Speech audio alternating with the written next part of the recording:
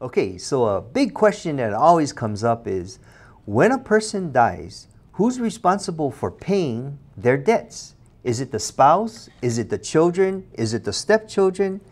Well, generally, none of the above. But it will depend on certain circumstances, such as did you co sign the loan with the deceased person?